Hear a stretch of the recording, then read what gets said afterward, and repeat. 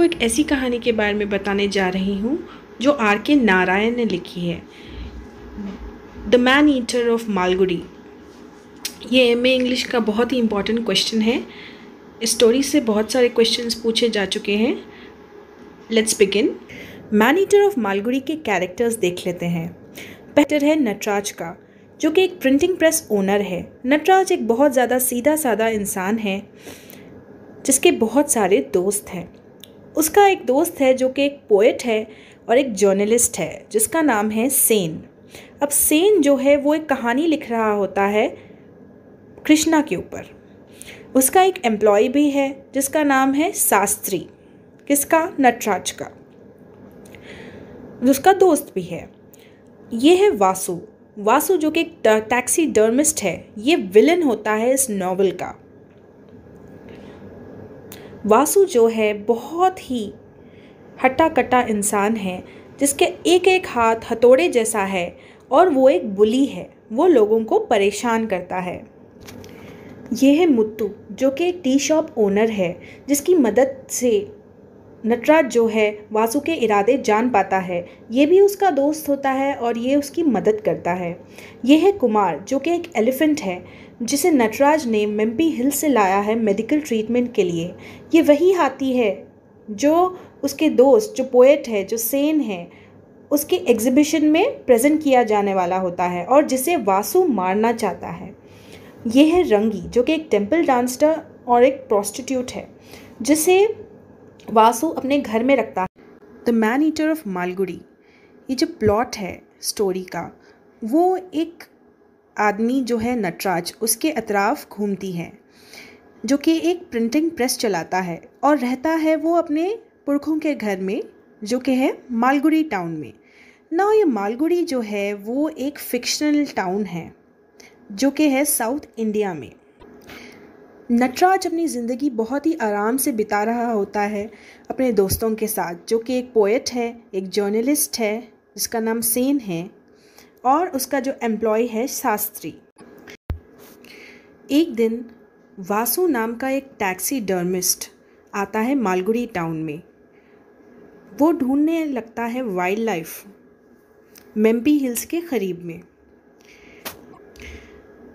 Taxi डर्मिस्ट एक ऐसा इंसान होता है जिसका काम होता है कि वो मरे हुए जानवर और पंछियों की खाल निकाले और उसमें एक स्पेशल टाइप का मटेरियल भरे और उन्हें ऐसा दिखाए जैसे कि वो ज़िंदा है।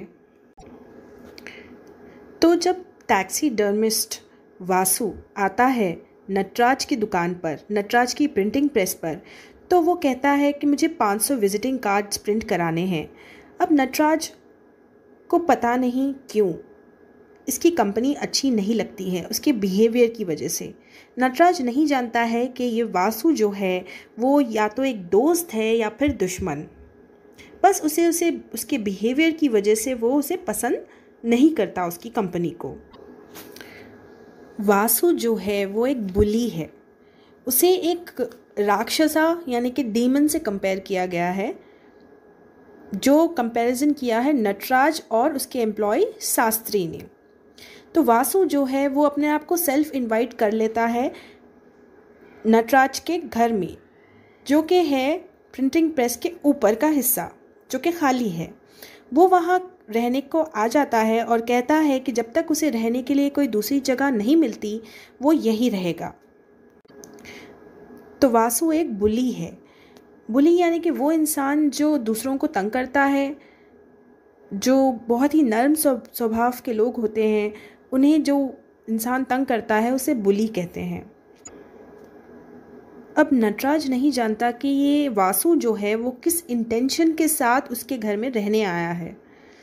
लेकिन वासु तो ये सोच लेता है कि ये जगह मेरी एक्टिविटीज़ के लिए और मेरे जो इरादे हैं, उनके लिए ये जगह बहुत अच्छी है। अब जो वासु है, जो टैक्सी डर्मिस्ट है, वो जो है बहुत ज़्यादा बुली करता है। नटराज के दोस्तों को, उसके कस्टमर्स को, वो यहाँ तक कि एक पेट डॉग को शूट कर देता है। ना सिर्फ़ एक पेट डॉग बल्कि बहुत सारे जानवर और पंछी को भी वो शूट कर देता है। वो मेम्पी हिल्स में रहने वाले जितने भी जानवर हैं, उनको मार डालता है। और वो उस इलाके में मशहूर हो जाता है कि ये है टैक्सी डर्मी जब नटराज सवाल करता है वासु से कि ये क्या हरकतें कर रहा है तो वासु जो है वो गुस्से में आ जाता है कि कैसे तुमने मेरे काम पर सवाल उठाया और वो केस ठोक देता है नटराज के ऊपर। वो केस ठोक देता है रेंट कंट्रोल अथॉरिटी में कि नटराज जो है वो औरतों को एंटरटेन करता है और डिस्टर्ब करता है सुकून मालगुड़ी टाउन का। अब जो नटराज होता है, उसका एक दोस्त होता है जो कि एक पोइट है। वो लिख रहा होता है एक पोइट्री कृष्णा के ऊपर। तो अब उसकी बुक की रिलीज़ की बारी आती है तो वो एक फ़ंक्शन ऑर्गेनाइज करता है। अब जो वासु होता है, वो एक अच्छा आदमी नहीं होता। वो रंगी नाम की एक प्रोस्टिट्यूटर को अपने घर में रखता है। तो जब ये फेस्टिवल ये फ़ंक्शन ऑर्गेनाइज होने वाला होता है तो रंगी जो है वो आकर नटराज को इन्फॉर्म करती है कि वा, वासु जो है, वो कुमार को मारना चाहता है। अब कुमार जो है, वो एक हाथी होता है जो नटराज लेकर आया है मेम्पी हिल्स से। वो देखता है कि ये जो कुमार है, वो अनवेल है तो वो उसका ट्रीटमेंट कराता है अपने एक दोस्त की मदद से, क्योंकि वो अच्छा आदमी है, इसलिए उसके बहुत सारे दोस्त हैं। तो ये जो तो ये जो कुमार नाम का हाथी होता है वो उसके पोएट दोस्त के फ़ंक्शन में प्रेजेंट किया जाने वाला होता है। अब जैसे ही नटराज को पता चलता है रंगी से के कुमार को मारने वाला है वासु तो वो अपने टी शॉप ओनर, जो कि है मुथु, उससे मदद लेता है। तो नटराज को पता चलता है कि वासु किस तरह कुमार को शूट करने वाला है अपने कलेक्शन और अपने बिज़नेस के लिए। नटराज बहुत कोशिश करता है, मगर उसे रोक नहीं पाता। नटराज एक और बार कोशिश करता है, बट देखता है कि वासु तो सो रहा है। फिर अगले मॉर्निंग ये जो एलिफेंट है, वो फ़ंक्शन में आराम से जा रहा होता है और अगले दिन उसे मालूम होता है नटराज को कि वासु तो मर चुका है।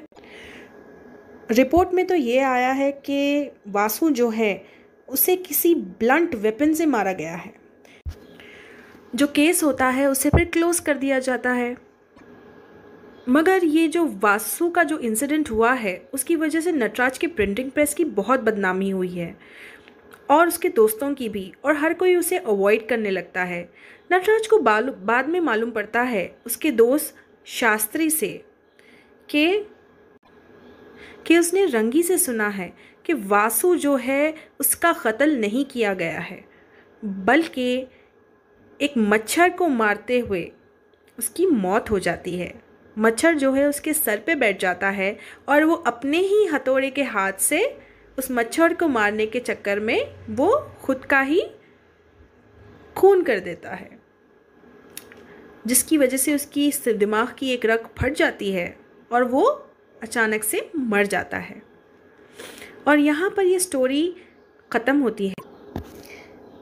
इस मैसेज के साथ कि बुराई, जो डीमंस होते हैं डिविल्स होते हैं और जो मॉन्स्टर्स होते हैं, वो उनका अंत एक ना एक दिन हो ही जाता है, उनके इरादों की वजह से। अब देखिए दोस्तों, वासु तो आया था कुमार को मारने, लेकिन उसकी नीयत की वजह से वो खुद ही मर गया।